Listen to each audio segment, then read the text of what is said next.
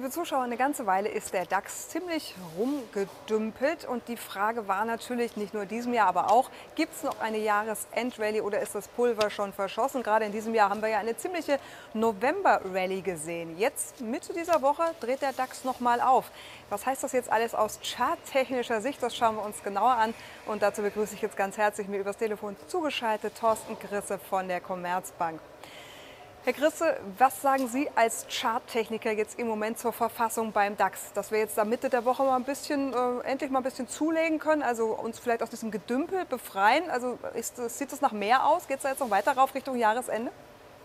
Ja, also ich denke, wir haben auf jeden Fall sehr konstruktive Chartbilder, die tendenziell steigende Kurse andeuten. Wenn man das so ein bisschen sich anschaut beim DAX, der war ja vor der US-Wahl im Oktober bis auf 11.000, also 11.000 ähm, 450 so runter in dem Niveau und hat dann diese nach der Rallye diese schöne Aufwärtsbewegung gemacht im November.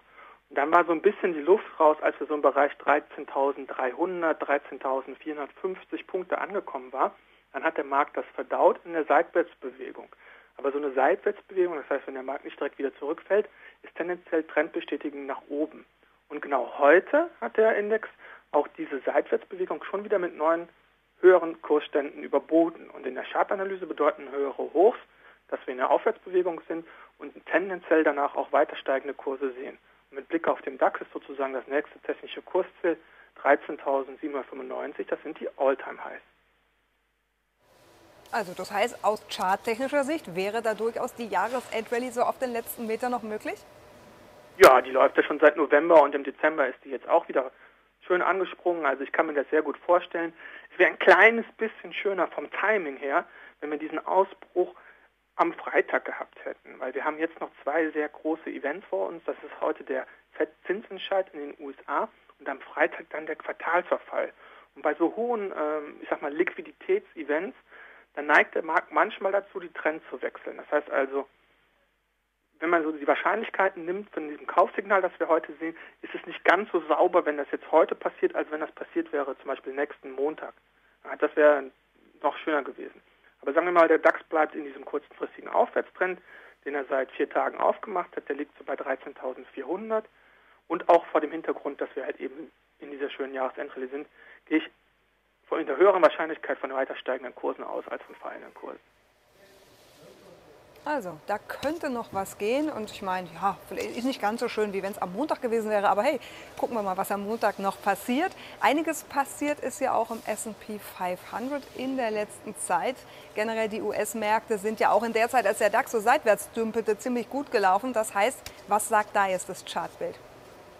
Der S&P 500 ist im Gegensatz zum DAX natürlich schon vorher auf seine Allzeit Prime Highs gestiegen. Der hat, der hat eine technische Neubewertung. Ich habe hier mal den Jahreschart mitgebracht, damit man dieses sehr äh, bewegende Jahr 2020 nochmal sieht. Also ich mache das jetzt schon über zehn Jahre und so eine hohe Volatilität habe ich noch nie erlebt und ich glaube auch Leute, die vielleicht mit Ausnahme der Finanzkrise längerfristig am Aktienmarkt sind, die haben so ein Jahr selten bis gar nicht erlebt. Ne? Dieser starke Kurseinbruch und dann ähm, diese Kursbeschleunigung nach oben ab März, die den Index dann sogar im September auf neue Allzeithoch geführt hat. Dann gab es diese Seitwärtsphase mal zwischen der, vor der Wahl, wo der Markt immer ein bisschen Pause gemacht hat und nach der Wahl jetzt diese Weihnachtsrallye und die ist auch im S&P 500 intakt. Der Aufwärtstrend liegt bei 3.650 Punkten.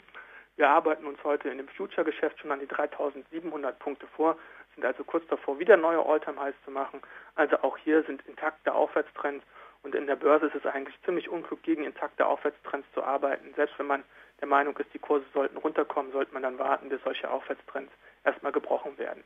Also auch hier aus meiner Perspektive intakte Aufwärtstrends deuten darauf hin, dass wir eine höhere Wahrscheinlichkeit haben, in diesem Jahr noch höhere Kurse zu sehen und neue Alltime-Highs im S&P als Kursverluste.